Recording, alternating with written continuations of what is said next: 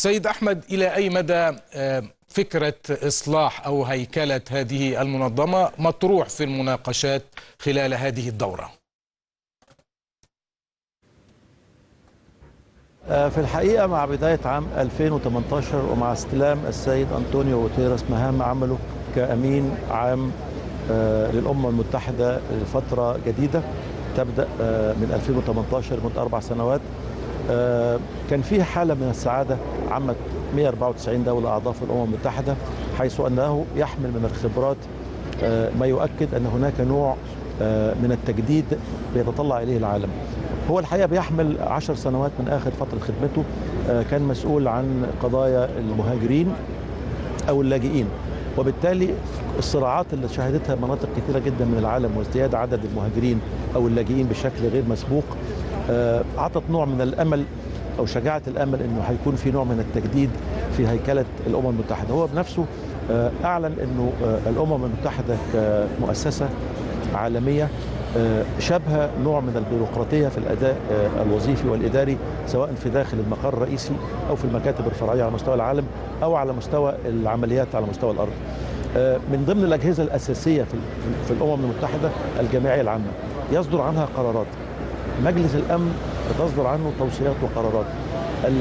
الجهاز الذي لديه قدرة على التنفيذ وحل المشاكل على الأرض هو مجلس الأمن. أيضا منذ سنوات منذ تأسيس بتظل قضية الخمس دول الكبرى اللي عندها حرية الاعتراض أو حق الفيتو بتشكل الحقيقة أزمة كبيرة جدا إنه نعم. بعض المشاكل عندما نقترب من من أسلوب لحلها تتعطل نظرا لاختلاف المصالح. فأعتقد إنه الأمين العام الجديد واجهته كل هذه التحديات. أيضا هناك تحديات بتواجه التمويل بتاع الأمم المتحدة. أكبر دولة في العالم وهي الدولة المستضيفة أو المضيفة للمقر الولايات المتحدة الأمريكية. رئيسها أيام حملته الانتخابية دونالد ترامب أعلن ان أنا هخفض ميزانيتي للأمم المتحدة. وكان أحد يعني تصريحاته اللي أثارت نوع من الجدل يعني إنه هذا المبنى هو عبارة عن نادي يلتقي فيه الناس لتناول القهوة. أحد كبار المسؤولين الأمريكيين أيضا للأسف كان عنده تعليق شوية مش مناسب إن هذا المبنى عنده 38 طابق. لو أزلنا منهم 10 طوابق إيه اللي هيحصل يعني؟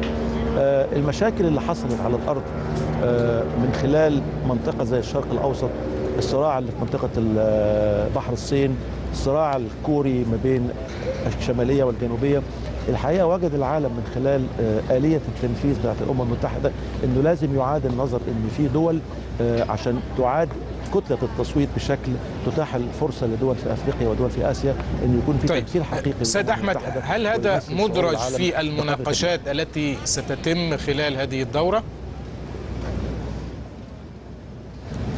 أعتقد إنه بالتأكيد أحد الأولويات إحنا نلاحظ كمان كلمة السيد الرئيس عبد الفتاح السيسي أمام قمة مانديلا اليوم.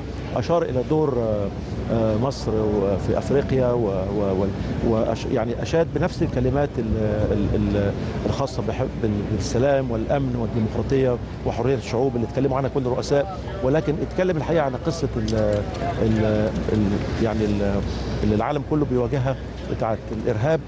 والدور اللي مصر قايمة بيه.